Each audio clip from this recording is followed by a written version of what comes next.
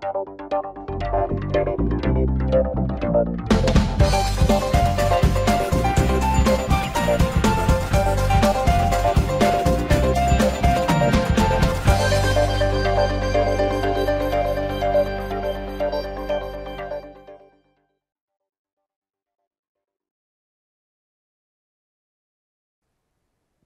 Hey traders, it's John Fortune here with this week's weekly Forex forecast for the 29th of May to the 2nd of June 2017. Starting with the US dollar index and oil, we're going to run through a number of currency pairs, looking at key levels of support and resistance in the process. So without further ado, let's jump over to the charts and see where the money is this week.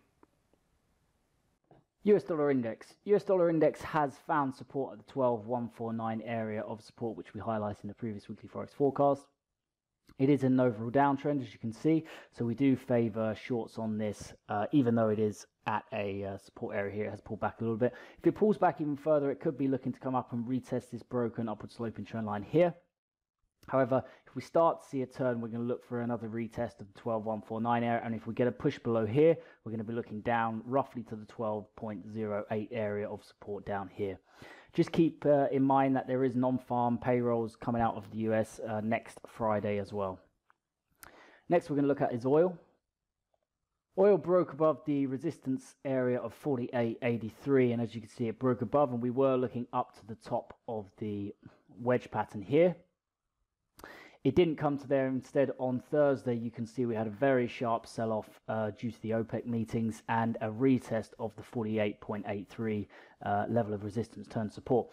Friday did turn up and it closed fairly uh, strong on Friday. So, what we're going to be looking at now is a continuation back up to the top of the wedge, which we've been looking for. So, we do see uh, some oil strength coming into the markets potentially next week. The only thing to bear in mind is uh, it did break out of the lower trend line here and it has pulled back. So if this were to break down below the 48.83, we're going to be looking at the 46.86 area in oil next. However, we do favor the top of the wedge on oil next week uh, or maybe even the week after, depending on how long it takes. Next pair we're going to look at is Euro US dollar. Euro US dollar broke above the 1.110 area over here, the psychological level. This is what we were looking for last week. It did pull back and test it before moving higher. Uh, Angela Merkel actually said that the euro was undervalued or it was weak, uh, needed to be a bit stronger, and that's what uh, caused the push up here. Uh, so we didn't get any pullback down to this uh, downward sloping trend line. And as you can see, it started to accumulate last week. So we are now looking for longs on the euro US dollar next week into the 1.12950 area. So this is a trade that we're going to be looking to see if it materializes in the live room next week. Next pair we're going to look at is US dollar Japanese yen. US dollar Japanese yen did accumulate last week, and we did say you can see this is here from last week. We were looking for a potential pullback and a retest that's now on sloping trend line here. We did get that, and now as you can see, we are forming a kind of bear flag pattern. So we do expect this to continue to the downside, and we're going to be looking for the 110 level next week, and then possibly even further down to the 109.25 area to come and close this gap over here. So we are looking for shorts next week on the US dollar yen if we start seeing uh, this pushing to the downside. Next pair we're going to look at is pound US dollar. Pound US dollar broke out of this channel to the upside, as you can see. Uh, we were looking for trades up into the 1.300 area, and then it sold off from there, and it's broken out. So we are now thinking that this could push down a little bit lower, and we're looking for the 1.2700 area of support and the psychological area here next week. We may see a little pullback first to retest this uh, broken channel before a move down. However, uh, that would mean that we'll probably have to see some US dollar strength, maybe a little correction in the US dollar strength. So if rather than pushing further down, the US dollar actually pushes up and it continues to uh, correct to the upside, then we may see this uh, push down into the 1.270 area. So we are going with a dollar bias uh, next week of being bearish. However, if we start to see a little bit of strength coming in, the pound US dollar is one we're going to be looking to take to the downside and we're going to be looking at the 1.27 psychological area. Next pair we're going to look at is US dollar franc. US dollar franc did break down out of this upsloping sloping trend line here and it has now found support on the 0.9722 area down here.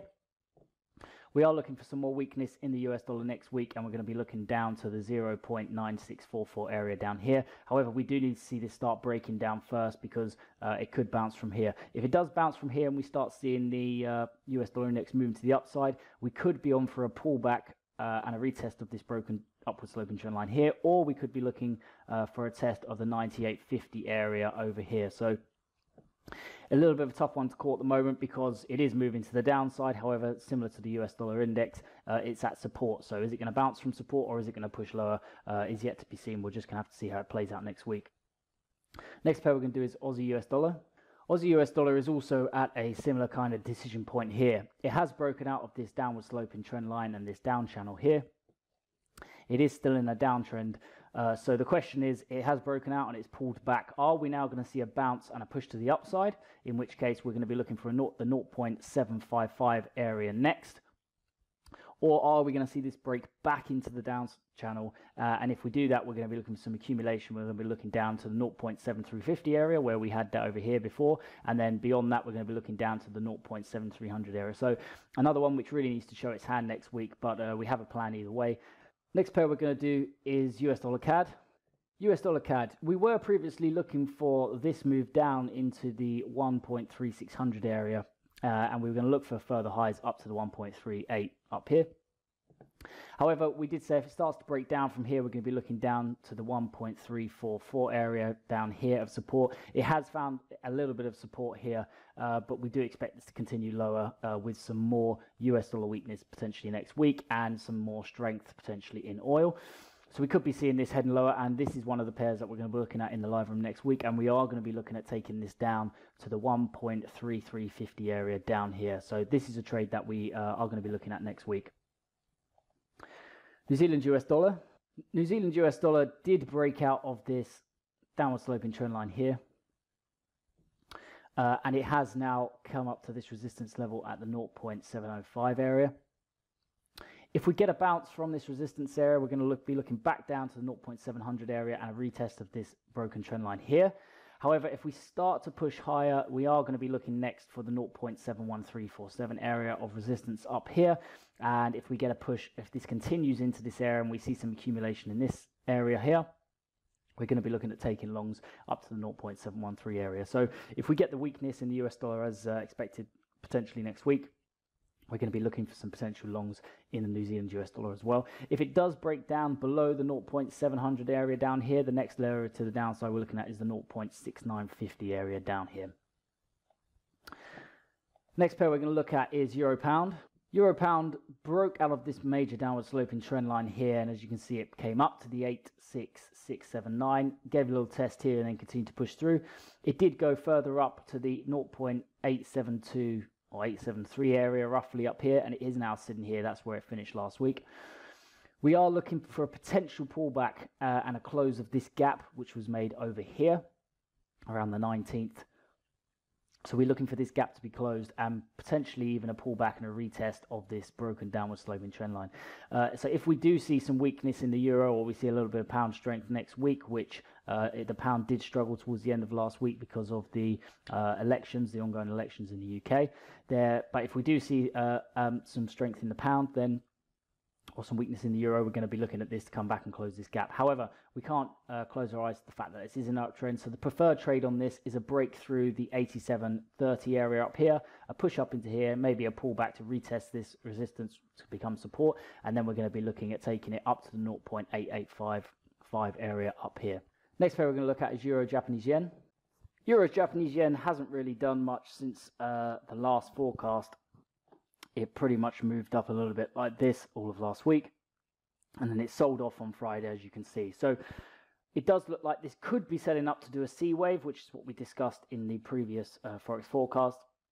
Maybe down to this low here, or maybe down to retest this downward sloping trend line and the 122 area. If, however, this fails to materialize and it does start to push higher because it is in an uptrend, then we're going to be looking at the 126 psychological next, and if it if it pushes through here, we're going to be looking up to the 127 psychological area to the upside after that. Next pair we're going to do is pound yen. Pound yen last week was sitting below the 145 psychological area here, and we was, it was had a little bit of accumulation. Did say we were looking for a move down to the 142, and in fact we did take this trade last week. Uh, it is now down to this area, and so the question is, is it going to push through a little bit further, or are we going to get a bit of a bounce here? If we get a push through to the downside, we are going to look for some accumulation underneath the 142 area, and then a move down to the 140 psychological area to close this gap over here. Next pair we're going to look at is Franc Yen. Franc Yen is still at the resistance of this downward sloping trend line here, and it has the 115 uh, area of resistance just above it over here. If we start to see some strength coming into the Japanese yen next week, uh, then we could see all of these push down. However, as you can see, the franc yen did actually make a new high. So if we are going to look at trading some of these to the downside, I'd probably prefer to take the euro yen uh, and see, look at it as a C wave rather than get involved in the franc yen. Franc yen is probably one we're just going to have to wait, bypass next week and see uh, how it plays out for the following week. Next pair we're going to look at is pound franc. Pound franc failed to hold at the downward sloping trend line here. It pulled back and it actually accumulated underneath. And as you can see, it started to sell off last week.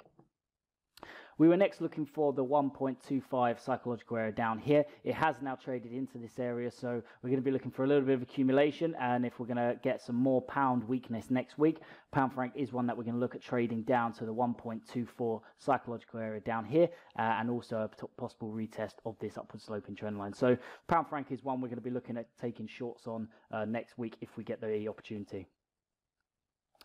Next pair we're going to look at is Euro Oz. Euros has been accumulating around the 1.501 area. And as you can see, it's pretty much been moving around here for the last one, two, three, four, five, six, seven, eight, nearly two weeks, two trading weeks here. Now we are looking for a move up to the 1.517 area up here. So this is a trade we're going to be looking at taking possibly next week. However, slightly cautious that we may see a pullback into the 1.4857 area uh, first before we see a move up to the 1.517 area. So it's just a question of timing and how we can position ourselves into this. But as you can see, it's trending to the upside. Uh, we've got a continuation pattern here. So we are going to be favoring trades into the 1.517 area next week. This could be a good pair. Next pair we're going to look at is EuroCAD. EuroCAD is uh, in an uptrend and it's given us this uh, continuation pattern here. It's like a bull flag. Uh, so we are looking for a continuation of the move to the upside. Next target we're looking for in the EuroCAD is the 1.5268 area up here. Uh, the only thing is, obviously, oil does look like it could be a little bit strong next week. So we would have oil to have to uh, accumulate sideways or maybe turn a little bit negative uh, in order to uh, get some really nice moves up. Otherwise, it could struggle a little bit. So we do favour longs uh, on the EuroCAD into the 1.5268 area of resistance next week. However, we'll keep an eye on oil to see uh, if it gives us the opportunity or a nice opportunity appears to, to take this to the long side. Next pair we're going to look at is Aussie CAD. Aussie CAD broke out of this upward sloping trend line here and it is actually now sitting at a support area. You can see the 1.00 area roughly.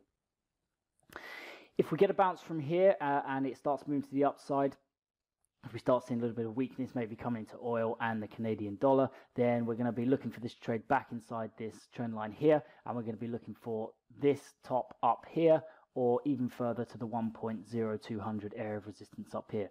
However, if we start seeing a break lower, which we could very well see, especially if oil does uh, provide a bit of strength next week, then we'll be looking for some accumulation into this area, and we can be looking to take a trade down to the 0.9928 area of support here, you can see it's acted as support a uh, number of times before. Uh, and then if we do get a push down below there, we'll be looking at the 0.9900 area down here. So ideally, we want to see a little push lower on this, and then we can look at taking Aussie CAD to the downside to the 0.9928 area of support down here. Next pair we're going to look at is Aussie Jap. Aussie Japanese Yen is sitting at this major upward sloping trend line here. Last week we were looking for a potential trade from here down to retest this uh, trend line here, and that's what happened. And now we are looking to uh, potentially get a bounce up to the 85 area over here. Now we are expecting a little bit of Japanese yen strength next week, which would push this further down. Uh, if that's the case, we're going to be looking down to the 81 area down here. However, if we fail to see that uh, Japanese yen strength, or we see some Aussie strength, uh, and it starts to push higher, then the the uh, 85 area to the top is going to be the next target to the upside, followed by the downward sloping trend line here, uh, where you can see where the blue circle is. So Aussie yen, uh, one which really needs to show which way it's going to go, and then we can look at trading it uh, to either of these targets once we get a little, little more clearer sense of direction on this pair. Next pair we're going to look at is CAD yen. Yen is sitting at this upward sloping trend line. It broke out and it pulled back and it now retested it. So again, the question is, is this going to push back through here? And if it does, we're going to be looking down to the 80 level, which we've been looking at for some time. Uh, we're still looking at it coming down to the 80 level at some point. It's just, is it going to push a little bit higher first before it comes down? Uh, or is it going to come down from where we're at now? If we start to see a little bit of strength coming in here and this starts to push to the upside, uh, we can look for the 84 psychological area and then the big downward sloping trend line here, the 85 cycle logical area to the upside here. If, however, we start to see this pushing lower next week, we can look for some accumulation outside of this upward sloping trend line in this area, maybe down by the 82 uh, level, and we're going to be looking to take this short down to the 80 level. The only thing is oil again would need to be weak next week and it is looking fairly strong at the moment. So if we do see some oil strength and we don't get that Japanese yen strength that we think uh, may come into the markets next week, then this could be a good trade to the upside looking at the 84 and then the 85 levels uh, on this pair. Next pair we're going to look at is New Zealand yen. New Zealand Japanese yen did find support at this upward sloping trend line here. And as you can see, it actually bounced up and it's making its way back up to retest the 78.92 area over here. If we start to see a push through from here, we could see a retest of the high up here. And then if we start to see a moves even higher, we could be looking at the 80 to the upside. We have been, however, looking for a potential move down to the 7500 area on the New Zealand Japanese yen. So the question is, is, it, is this area of resistance here going to provide uh, a push to the downside and to uh, see if we can eventually get that target of 7500 down here? Or is this going to push up, make higher highs, in which case we can be looking up to the 80 uh, area up here. I do think, however, uh, that being said, there's probably better pairs out there uh, to trade next week. Pound CAD sold off after finding a bit of resistance up here at this upward sloping trend line. I did say in the uh, weekly forex forecast last week uh, that we could be looking at a potential move back down to test the uh, bottom area of this up channel here. Uh, that does look like what it's doing now. We had these two areas marked here on the charts and it has uh, traded into the first area which is around the 7250 area and it could be looking now to push a bit lower to the 1.714 area of support down here. Now if it trades into this, this could be a good place to look for uh, some potential moves to the upside. We won't be looking for shorts on this as it is in an uptrend and there isn't really much room down here. So if we get a move down into the 1.71480 area here, uh, this could be a good area where we're going to be keeping our eye on it. And if we get that uh, turnaround or reversal, then we can be looking at taking some longs on this pair. But just be aware uh, with the other pound pairs as well. We do have the ongoing election in the UK, uh, so the pound pairs could be pretty volatile, so just bear that in mind. Next pair we're going to look at is pound New Zealand. Pound New Zealand uh, is trending to the upside as you can see, and we had actually a continuation pattern here, uh, had a kind of ascending triangle forming. It was negated. We did expect a further push up to the 1.905 area up here. However, now that's been negated, uh, we were looking for maybe a retest down here of this upward sloping trend line. We are coming down into this area now. Could see a little push even lower to the 1.7928 area of support over here. Similar to the pound CAD, if we do get a move down into this area or retest this upward sloping trend line, we could be looking for uh, a reversal in this area and we could be taking this back up uh, for more highs. However, uh, next week we may just get a bounce up to the 1.8500 area, but longer term, if it does give a, a higher push to the upside, then we're going to be looking at the areas of the 1.905 and the 1.934 up here. So we'll just have to see how this plays out next week, see if we get a reversal pattern in here or if it starts to break down lower. If it starts to break down lower, then this could be the start of um, uh, a stronger push to the downside in the pound New Zealand. Next pair we're going to look at is pound Oz. Pound Oz found resistance at the 1.766 area, which we highlighted up here. Has pulled back, given a kind of ABC pattern, uh, which is a continuation pattern. So we are looking for maybe this to continue higher, similar to the pound CAD pound New Zealand. I do expect it to first trade into the 1.713 area of support down here. So if we get a little pullback, maybe up into here, maybe up to the 1.7300 area, uh, could be looking at some shorts down into this area early next week. Um, and then we could be looking at a reversal pattern in this area to take this back to the upside uh, and eventually a retest of the 1.766 area up here. Same thing applies with the ongoing UK elections in pound Oz as well. Next pair we're going to look at is Aussie New Zealand. Aussie New Zealand, we were looking for a move down into the 1.0600 area of support down here, which we had highlighted, and we did actually get that move last week from here. as you can see all the way down. It did push lower and it has started to break out of the downward sloping channel here. So if we see some accumulation in this area, we are going to be looking to take a trade down to the 1.047 area of support on the Aussie New Zealand. Aussie New Zealand is one I'm going to be keeping my eye on very closely next week, uh, and I am going to be looking for shorts into the area of 1.0479 next week on this pair. So keep your eye on the Aussie New Zealand, see if we get those opportunities. Next pair we're going to look at is Aussie Franc.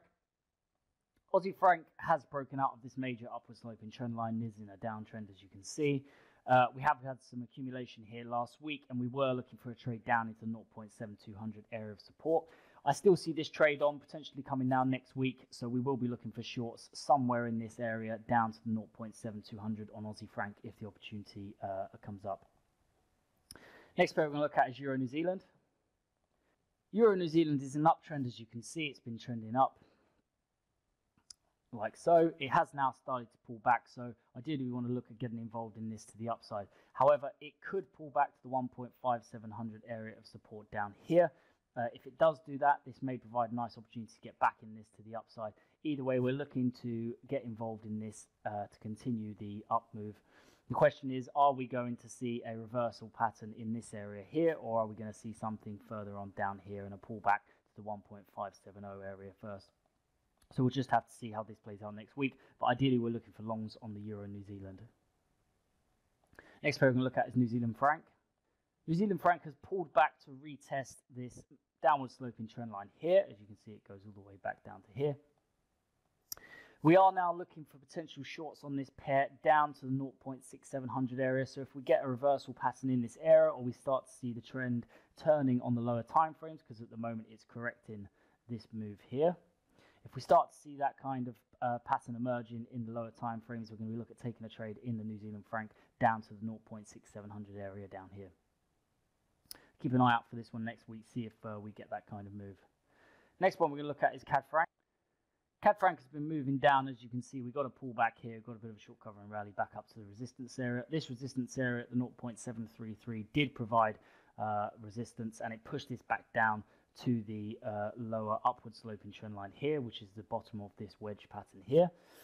It has looked now like it's starting to break out, so we would favor shorts on this pair. If we do get uh, a nice pattern here to the downside, we start seeing a reversal pattern of this little correction here, then we can be looking at taking this down through the psychological levels and also down possibly even as far as the 0.706 area. The only question is, as you can see, it did fail to make a new low, so there is a risk that this could be coming up to do a C wave. So if this starts to push back inside the wedge pattern and we get some accumulation in this area, first we'll be looking for the 0.73386 area of resistance up here, and then maybe even uh, a little double top over here and a retest of this, uh, the top over here, and the price at 0.738 at this kind of area. But because where it's sitting now, it's broken out and it's pulled back. It does look like it's correcting this down move, so we would favour some shorts on this pair, uh, possibly next week if we get the right sort of patterns. Next pair we're going to look at is gold.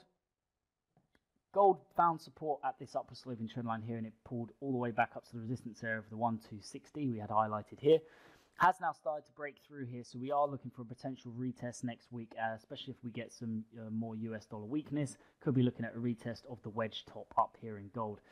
If US dollar does start to bounce to the upside, we could be looking at a pullback and maybe a move down to the 1225 area. So, uh, like many of these, it's kind of at a bit of a decision point, although it has started to break through this resistance now. So, uh, we would favor longs on gold and retest of this major downward sloping trend line. And finally, we're going to end on silver.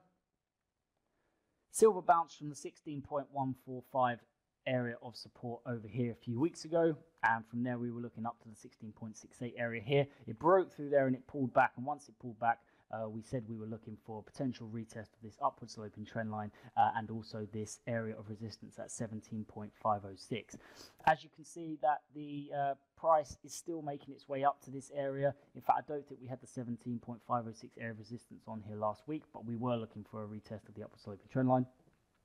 But this week now, I would expect this to, similar to gold, to push up a little bit higher and test the 17.506 and also this upward sloping trend line, which was broken. Once we get a test of this, uh, if we start to see some strength coming into the US dollar index, then we can be looking at taking this to the downside, back down to the 16.688, and then even further, depending on uh, how the US dollar index is going to react. So that is it from me for this week. I hope you found that helpful. And as always, uh, if you did, please let me know by liking, sharing, and subscribing. Don't forget to trade safely, and don't forget we have non-farm payrolls coming out of the US on Friday. So apart from that, the only thing left to say is I hope you all have a great week next week. Take care and good luck.